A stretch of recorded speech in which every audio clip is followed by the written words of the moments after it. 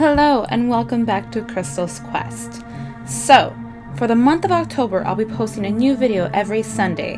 Why, you may ask? Well, it's because it's my favorite time of the year.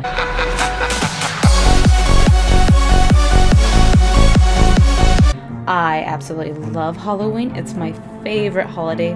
I love to get scared. I love spooky stuff. I always catch up with my horror films. So yeah, this is I want to celebrate. So today is October 3rd. It's October 3rd. So for our first episode, today's topic is do you believe in spirits? Ghost stories has been told for many years. In fact, the first notable report was in the century AD by Roman author he reported that he saw a long bearded man walking around with chains at his house in Athens. Since then, there's been numerous sightings, and throughout the whole world, there has been reports of ghost sighting, as well as, like I said before, it's popular in films. So, for many, many years, ghost sighting has been reported. Like I mentioned before, it's been shown on the big screen, and it's just, it's either something that's terrifying or something that's magnificent, like it's something like magical. So it depends how you take it. Is it something that you don't mind experiencing or is something horrific? Anyways, I do want to share one story in particular. I think this was my first time ever encountering a ghost. At the moment, I didn't realize it until I got older and they told me the story, but let me share it.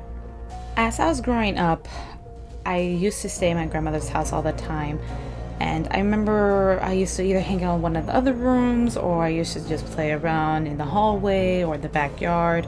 I used to see this tall man with a black trench coat. I wasn't scared of him or anything. I was at least like 10 years old and under. And all I thought in my head was like, oh, probably it's a friend because I used to see him frequently. And I was just like, oh, okay, he's chill, he's nice. He just used to always watch over me. And if I get hurt, he was always near, but other than that, like it's I didn't sense anything terrifying. I didn't think of him as a ghost. I saw him more like, you know, like imaginary friend until my mom shared me this story. So she told me um, a story when she came to visit my grandmother's house. My dad was here and my mom, and my dad was in the backyard, and my mom went in the kitchen to go grab some beer for them, like for herself and my dad. But as she looked in the window, she saw the man with the black trench coat next to my dad. She was like, oh, I guess he brought a friend. So she got an extra beer for that guy. And when she approached my dad, she realized he was gone. She's like, hey, what happened to your friend? And my dad was like, what are you talking about? Like, what friend? I'm the only one here. And she's like, yeah, there was this guy with a black trench coat. And he was like, no, it's just me. It's just me here waiting for you to bring the beer. And she freaked out and ran immediately to my grandmother and told her about this guy. And this is when I was like, oh, okay, I guess she sees him too. He's not imaginary friend. Little did I know there's a background story to her house. The story that she told us was there was this family that was throwing a house party and everyone was outside. The only people that were inside was the maid, the grandmother, as well as the two kids. Uh, the two kids and the grandmother were sleeping well, I believe the kids were sleeping in the bedroom above, and the grandmother was in the basement, and then the maid was in the other room, and everyone else was outside. So they were having a family gathering till there was this car that drove by and started shooting everyone. It was just a drive-by going off. And more happened. They got off the car, the people that were driving, went inside the backyard, started shooting everyone, entered the house, shot the two kids in that room, and then shot the grandmother in the basement. Um, when she shared that story, she mentioned that there was so much blood and so much bodies here. Um, at the time, they actually buried some of the body remains in her backyard. At the moment, I don't know if they're still there, but that was the story I was told. And uh, ever since then, my grandmother was telling me, yes, you do hear some hauntings, like some weird sounds. I know she mentioned you hear kids running, which I did heard it once, but I didn't really think much of it. Now I'm thinking about it, like, oh, makes sense. So that was one of the stories that kind of like opened me up in the spirit world.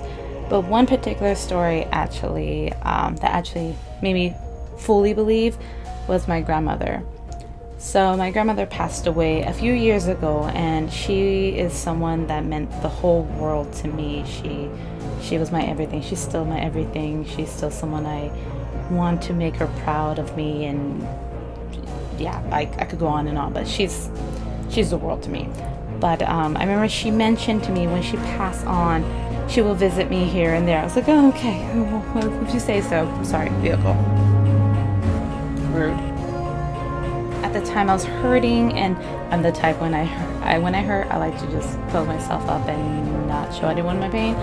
But I felt her embrace and I felt her warmth and her hug and it felt so nice I felt so safe. And that's when I was like oh she's here. This, this is it. This is I could feel her.